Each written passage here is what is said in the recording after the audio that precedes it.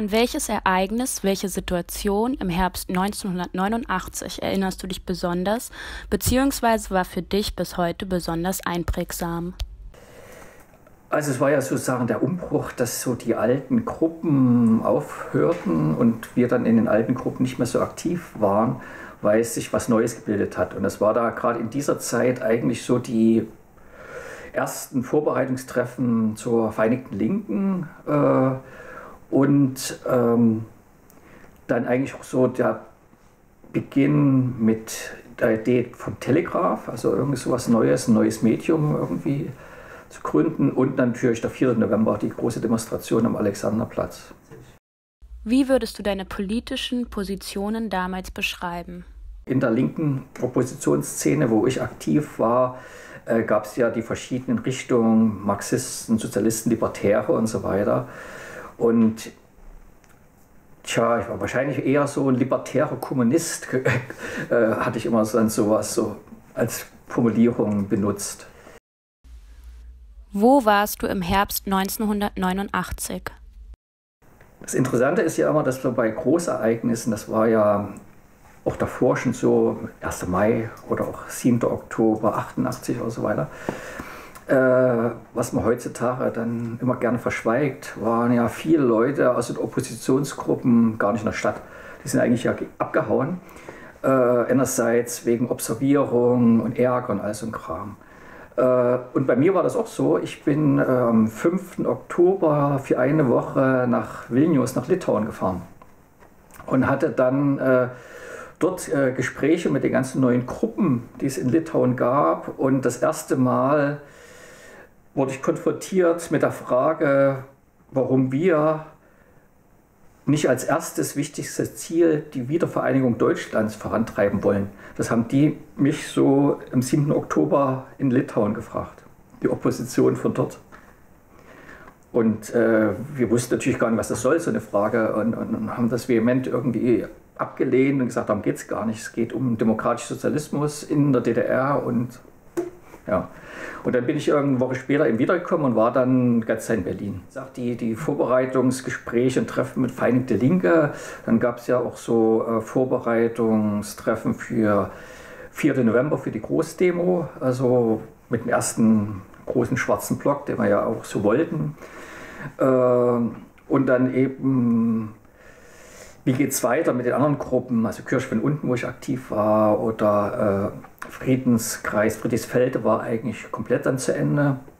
Und die Zeitung, wo ich dann damals mitgemacht hatte, Friedrichsfelder Feuermelder, gab es dann auch nicht mehr. Und dann eben die Idee, einen Telegraph irgendwie zu gründen, wo es dann auch erst ein Treffen gab. Und Telegraph war ja äh, so eine Nachfolgezeitschrift. Ähm, also es gab ja früher die Umweltblätter, das war die größte Oppositionszeitung in der DDR mit der höchsten Auflage und weit verbreiteste. Und da im Oktober aber alles ganz schnell ging und Umweltblätter eigentlich alle paar Monate am Ende dann nur noch erschienen sind, am Anfang mal jeden Monat, ähm, gab es dann die Idee äh, von Wolfgang Rüttenklau, so von Umweltblättern, dass man eigentlich was Schnelleres braucht als Medium äh, und hat dann, er hat dann versucht, eben verschiedene Leute anzusprechen von verschiedenen Oppositionszeitungen und äh, also neben Umweltblätter und Friedrichsfelder Feuermelder war Grenzfall, Kontext, Antifa-Infoblatt und so weiter.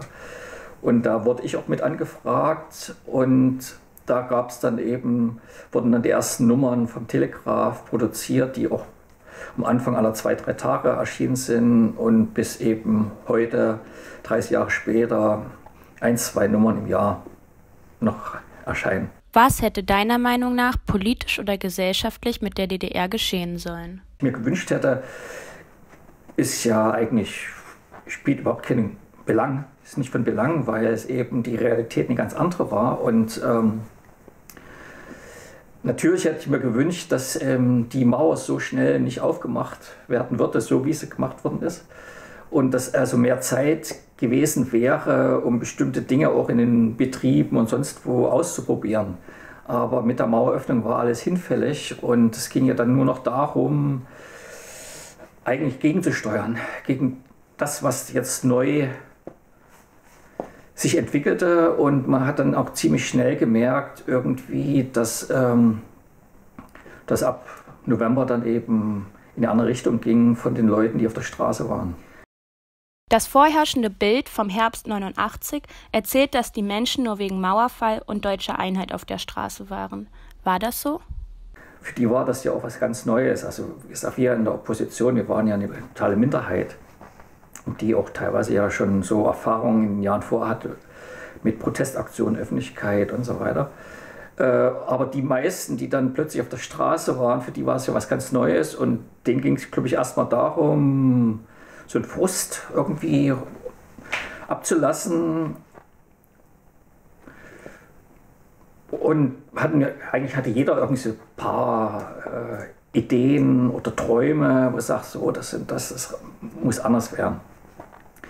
Und das andere ist, denke, äh, wenn es äh, um Wiedervereinigung ging, das kam ja dann wirklich Dezember langsam. Ähm, und das ist, ähm, ich glaube, es ist bis heute nicht so richtig wirklich aufgearbeitet worden, warum so ein schneller äh, um, warum die Leute so auch schnell irgendwie darauf eingegangen sind. Also hat man ja in Leipzig dann ganz schnell gemerkt, wo es dann plötzlich irgendwie durch ein eigentlich Vaterland ging.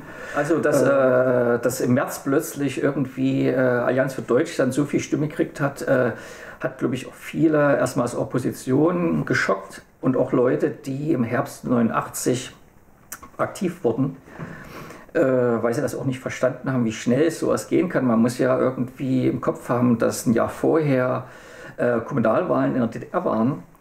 Und wenn man auch die ganze Wahlfälschung, die es da gab, irgendwie jetzt einrechnen würde, da haben ja trotzdem 80 Prozent äh, der DDR-Bürger abgenickt zu dem, was in der DDR weiter sein sollte. Und ein Jahr später waren die komplett anders. Wollten die dann CDU und Kohle und so weiter. Und ich denke schon, dass es auch die Illusion war, dass man eben auch dachte, dass man dann wie, wie die Westler wird, dass man auch äh, so viel Geld verdient, dass man auch ganze Wohlstand und, und so weiter dann auch hat. Und äh, dass es dann nicht, also sie hat, haben damit nicht gerechnet, die im März irgendwie das gewählt haben, dass dann ein Teil von denen dann plötzlich arbeitslos wird und dass die ganzen Betriebe zugemacht werden und so weiter. Sondern es war so eine Illusion und so ein Traum, der sich eben dann nicht erfüllt hat was ich ja auch interessant finde, wenn du anguckst, es gibt noch ein paar ganz wenige Gruppen, die es immer noch gibt, die schon zu den Erdzeiten Opposition waren. Also wie in Berlin Kirche von unten, wie in Jena auf, äh, Junge, äh, JG äh, und wie äh, in Erfurt offene Arbeit, die teilweise sogar noch von den gleichen Diakonen oder, oder geleitet werden wie schon Mitte der 80er. Und sozusagen, das sind die Originale. Und wenn du da hingehst, äh, die greifen sich natürlich alle an den Kopf von denen, was heutzutage so erzählt wird zur Wende und zur DDR und zur Opposition.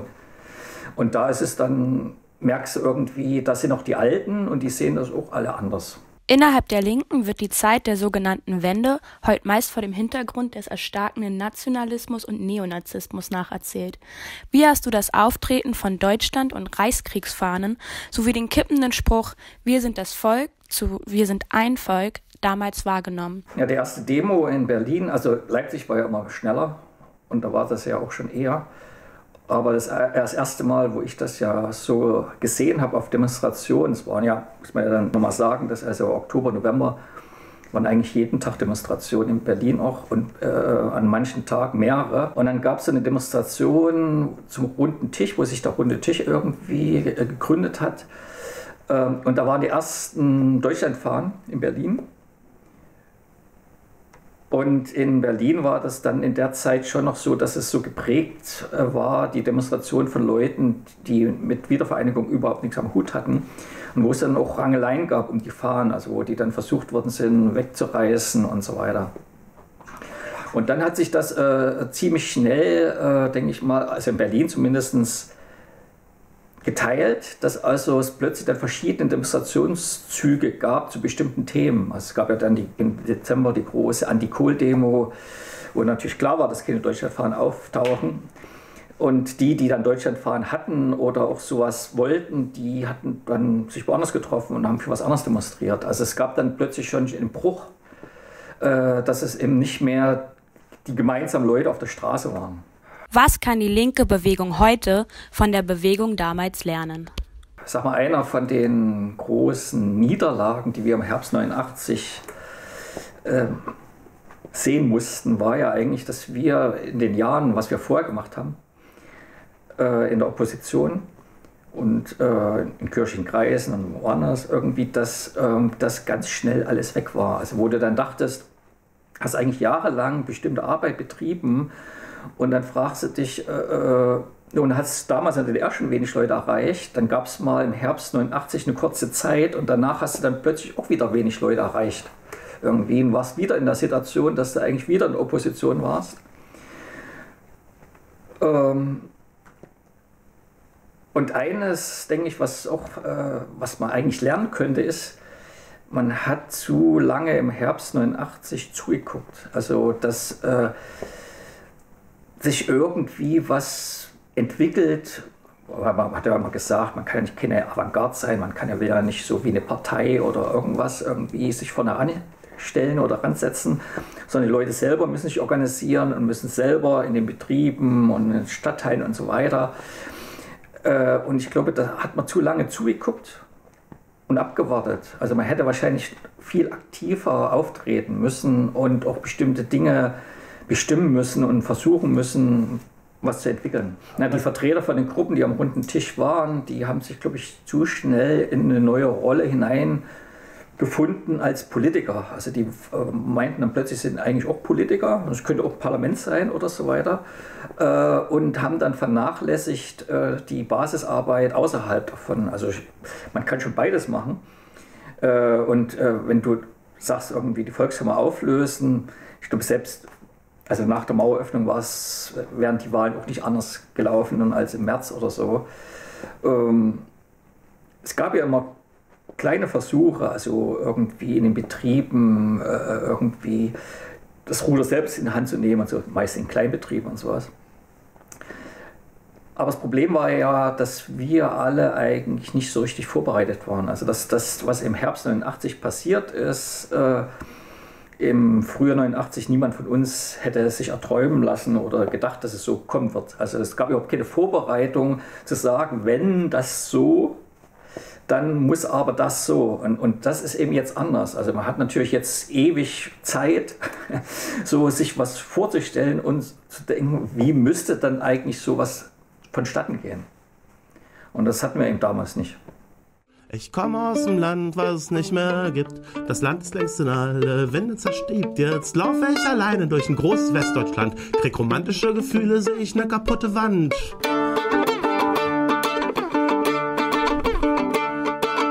Ich komme aus dem Land, was nicht mehr gibt. Das Land ist längst in alle Wände zerstiebt. Jetzt laufe ich alleine durch die weite Welt und frage mich, ob es mir gefällt und frage mich, ob mir das gefällt.